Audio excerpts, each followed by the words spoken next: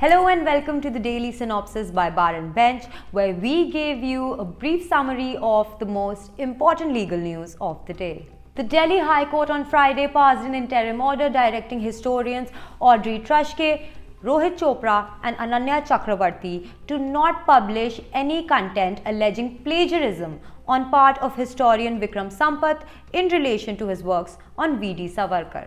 Justice Amit Bansal also noted Twitter's offer to take down the tweets in question if Sampath provides the URLs of the same. Sampath had approached the Delhi High Court with a defamation suit seeking 2 crore in damages from Truschke and others. He also sought a permanent injunction on the publication of a letter dated February 11th written by these historians to Emma Griffin, who is the president of the Royal Historical Society in Britain. In the letter, Truschke and others had alleged that they had found a long standing and a pervasive pattern of plagiarism in the works of Sampath, who was recently elected as a member of the society. The Calcutta High Court on Friday dismissed a public interest litigation seeking the removal of West Bengal Governor Jagdeep Dhankhar.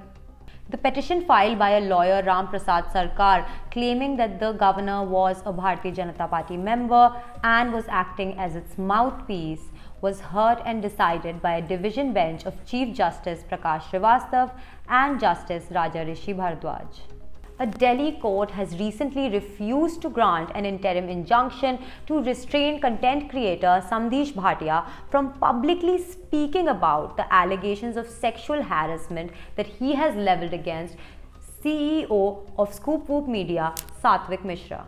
Bhatia had registered a sexual harassment complaint against Mishra and his wife, and the same as before a grievance committee constituted under the Sexual Harassment of Women at the Workplace Act. Samdish also published an Instagram post publicizing the sexual harassment that he had faced. While refusing to grant the injunction, the court said that the expression of a victim's trauma is his or her fundamental right that can only be curtailed if it comes under defamation or contempt of court, offends against public decency or morality, undermines national security, or threatens to overthrow the state since the present case did not fall in any of the above mentioned categories. The court declined to grant interim relief. On day 6 of the hearing related to the hijab row in the state, the Karnataka High Court today heard arguments on behalf of the state by Advocate General Prabhuling Nawadgi. AG Nawadgi told the High Court that wearing of the hijab must have to pass the test of constitutional morality as laid down by the Supreme Court in the Sabarimala and the Triple Talaq cases.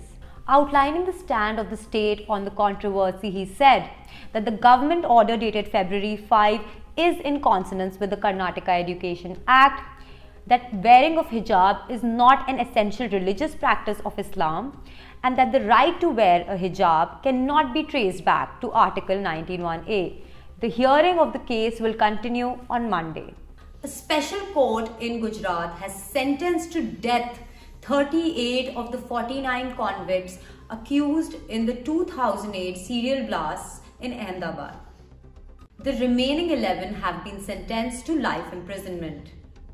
The court had earlier convicted the accused under various laws including murder, sedition and waging war against the state under the Indian Penal Code along with provisions under the Unlawful Activities Prevention Act, the Arms Act and the Explosive Substances Act. Special Judge A.R. Patel also awarded a compensation of 1 lakh to the victims of the serial blasts. Subscribe to our YouTube channel and click the bell icon.